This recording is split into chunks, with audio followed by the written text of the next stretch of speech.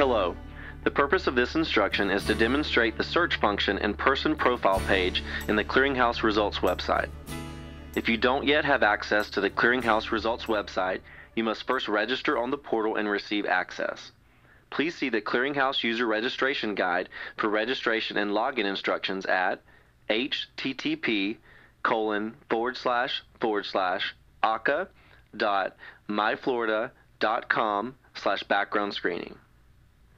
The search page allows you to review the eligibility status of an individual if they have undergone a screening or if they have a screening in process in the clearinghouse. If the individual is not found, a screening may be initiated from this page. If the individual is found, their profile page will appear. To search for an individual, you must first enter the individual's social security number and last name or date of birth. It is recommended that you only put either the last name or date of birth. Then select Search.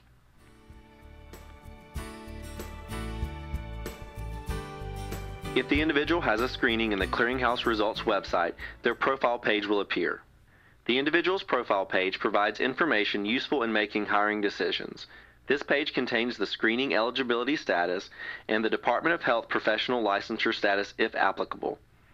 Other features include the ability to edit demographic information, including the mailing address, connect to a screening that is already in process for the individual, receive email notifications when the screening is complete, add employment history, view public rap sheets for initiated screenings, view subsequent arrest and or registration files for employees. This page also provides an employment history for the individual as reported by any healthcare or service provider regulated by a specified agency in the clearinghouse. Let's first focus on the demographic section of the profile page. This section provides all demographic information needed to complete a screening by the FDLE and FBI. To edit the demographic information for an applicant, select the Edit button on the profile page below the photo. You may edit and update all of the information except for the following the Social Security number, last name, and date of birth. Please note that the height and weight limits are set by the Florida Department of Law Enforcement if an applicant falls outside of the established limits, please select the closest match. Please contact your specified agency's background screening unit to update the Social Security number, last name, or date of birth. The next section on the person profile page is the Screening in Process section. A list of screening requests in process will be displayed on the person profile page.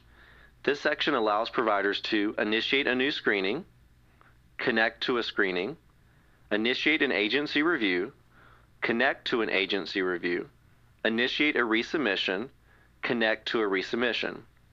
Connecting to a screening, agency review, or resubmission will allow providers to receive notifications and updates on an applicant's screening status without the need to request and pay for a new screening.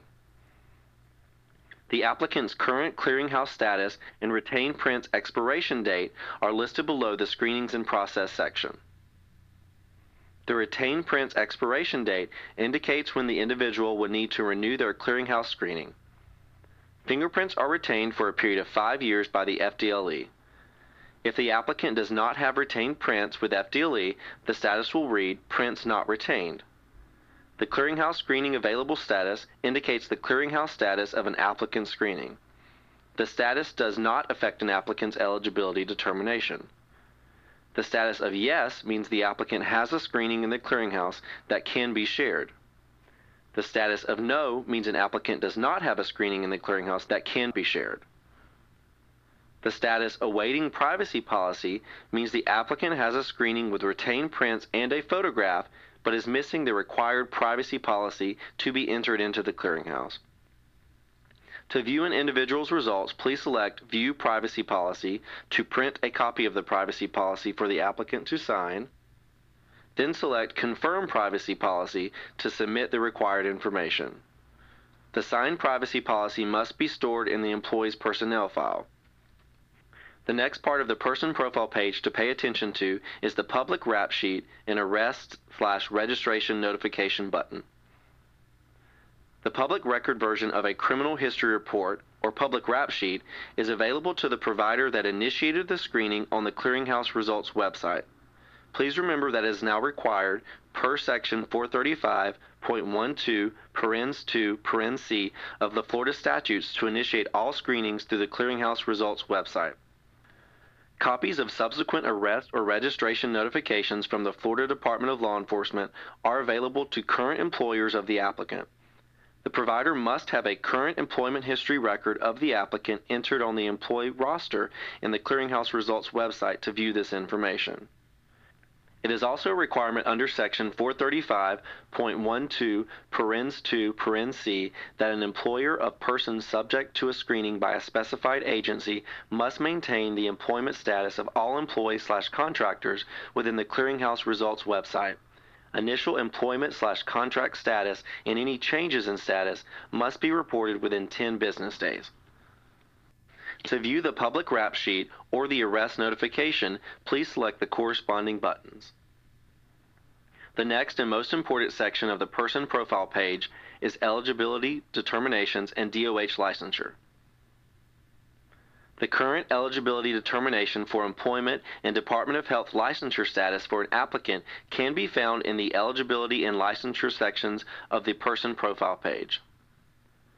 Each specified agency has different screening purposes and eligibilities. Definitions of eligibility determinations can be found by hovering over the question mark next to the specified agency name or selecting the Explanation of Results button at the bottom of the profile page. Please remember to only view the eligibility that applies to your reason for screening. The last section of the person profile page is the employment slash contract history and view print version of results. All employment history records entered onto the Clearinghouse Results website for the applicant will display in the employment slash contract history section of the person profile page. All records, regardless of specified agency of the provider, will be displayed. The provider name will only display to users with access to the website on behalf of the provider. A printable version of the person profile page in results can be accessed by selecting the view slash print version button below the employment slash contract history section. This will open a new window with a printable version of the information. This concludes our training on how to search in the person profile page on the Clearinghouse Results website. Please select the Contact Us link at the bottom of the web page for any questions. Thank you.